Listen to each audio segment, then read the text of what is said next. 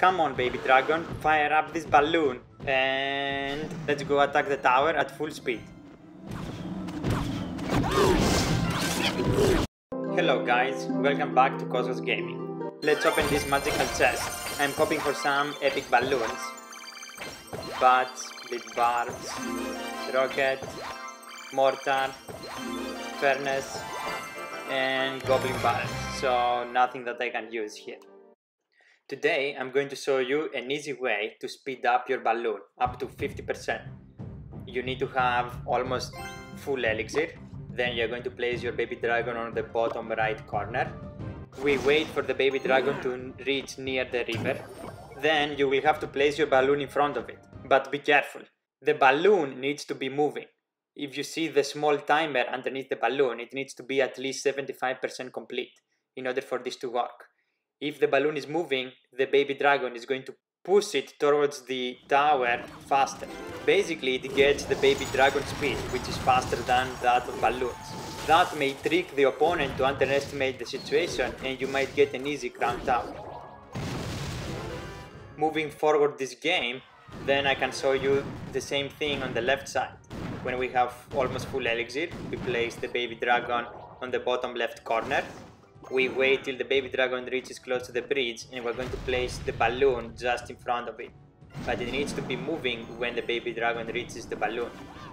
The baby dragon pushes the balloon very fast towards the crown tower and then with the help of the bridge we're going to do significant damage to this side also.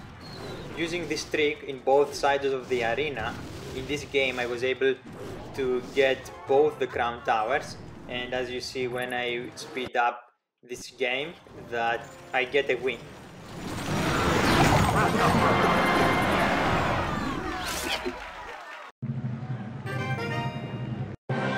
Starting a new game, I want to show you how you can use this trick in other situations other than the simple one that I'm going to start here.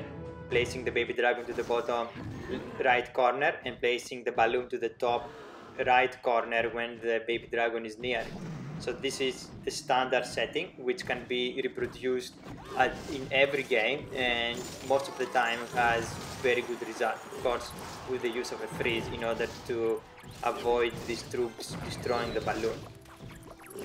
And this crown tower is done. Now going to the left side this baby dragon it's not in the correct position. So what I'm going to do is I'm going to place the balloon sooner the balloon will have a path towards the crown tower and that path involves going a little bit to the right where it is going to intercept with the baby dragon's path. When that happens, the baby dragon is going to push the balloon faster towards the crown tower and we will be able to get it sooner. Making the balloon go faster increases our chances to land an attack or even land additional attacks which can be devastating for the enemy crown towers. In this game, using this trick in both sides of the arena, I was able to land a 3 crown win.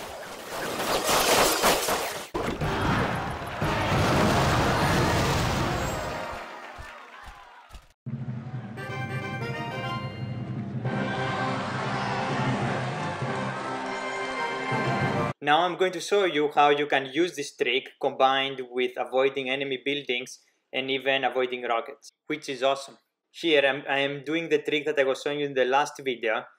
The balloon is going to go a little bit to the left and is going to avoid getting pulled by this Inferno Tower, reaching to the Crown Tower and inflicting a lot of damage. Please check my last video for more details on this trick. I'm going to provide a link at the end of this video. Moving this game forward, I want to show you something else. Now in the right side, I have almost full elixir. I place the baby dragon and I'm going to place the balloon in front of it.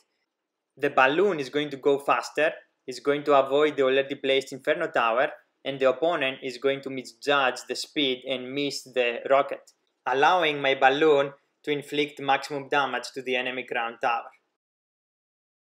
For this trick, all you need is a clear path to the tower. Any troops on the way are going to distract the baby dragon, making it stop pushing the balloon. So on the left side here, you can see that these skeletons are on the way. So I'm choosing to go on the right side. Placing the baby dragon, placing the balloon in front of it. Balloon goes super fast towards the enemy crown tower and eventually destroying it.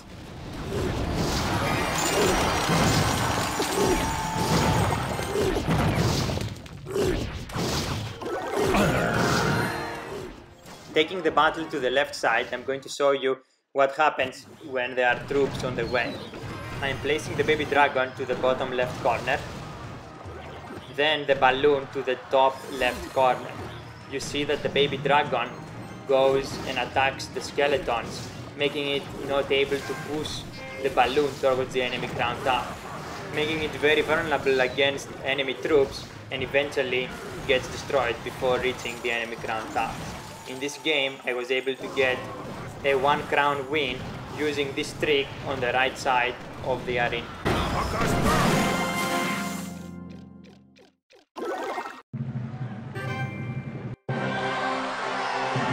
Thank you for watching, subscribe for more Clash Royale videos, click the thumbs up button if you like this video, and check out my previous video where I showed a trick to avoid your balloon getting pulled by enemy buildings. Stay tuned for more tricks and tips using your baby dragon and the balloon.